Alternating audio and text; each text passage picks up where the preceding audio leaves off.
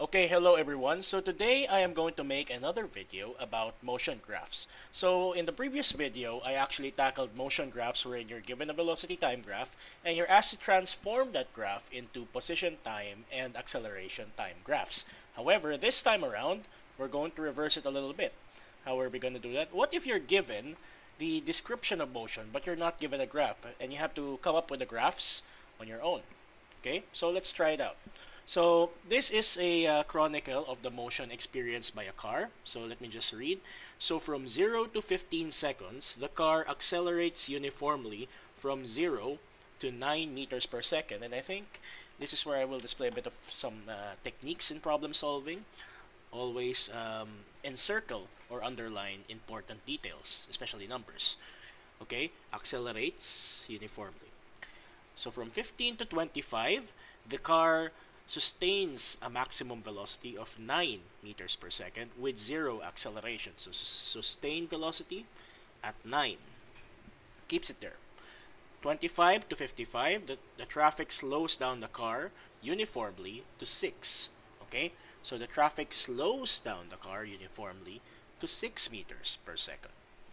And finally, from 55 to 65 seconds, a traffic light forces the driver to step on the brakes and the velocity uniformly drops to zero. So, if you could imagine, they're moving very slowly and all of a sudden the car up front stops, so the driver is forced to stop after 10 seconds. Okay, so how are we going to create a proper motion graph out of this? Well, the first thing that you have to do would be to determine what motion graph you have to do first. Okay, and as you could see, you are given seconds. Okay, so that's a standard in any motion graph.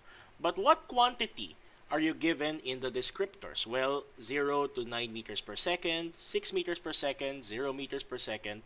Most likely, you'll have to deal with velocity first. And then, the plan of action would be to transform that into the other graphs. Okay, so let's start with a velocity time graph. So we see here that there are four segments that we're going to have to analyze. And that's because there are four cases of motion on display here. Okay, so let me just make divisions in my graph. 0 to 15, so let's say 15 seconds, first 15 seconds. Okay, and it says here 15 to 25, so 10 seconds later.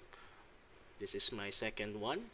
25 to 55, so that's a really long uh, time frame, so I'll just uh, reflect that in the graph. And finally, 55 to 65, so something around like that. Okay, so those are my four segments. Let me just uh, draw the lines just to uh, further divide these segments. So the car accelerates uniformly from 0 to 9 meters per second. Okay, so in this case, we are already told that we're going to go up to 9 meters per second okay? And we start at zero according to this okay? So what are we going to do?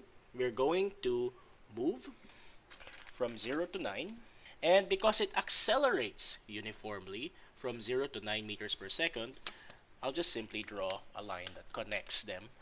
And that line is perfectly straight not curved. Okay? So segment B 15 to 25, the car sustains the maximum velocity of 9 meters per second with zero acceleration. So zero acceleration, what does that mean? It means that your velocity time graph will look completely horizontal.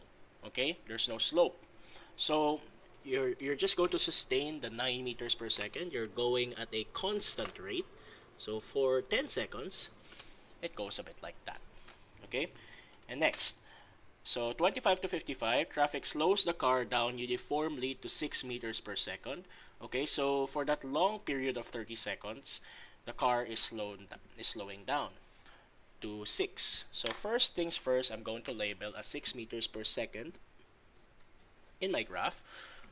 And then I'm going to plot a point at the end of segment C that corresponds to 6 meters per second. And because it slows down uniformly, it's just going to be a straight line going from here to there. And finally, so this one, probably the driver is just uh, releasing the gas. This one is actually proactively stepping on the brakes and the velocity drops to zero. So eventually the car grounds to a halt, grinds to a halt. Okay, so from 6 meters per second, you go back down to 0, and it, because it does it uniformly, it's just simply one straight line going from here to here. Okay, so this is your velocity time graph for this uh, case of motion, this scenario.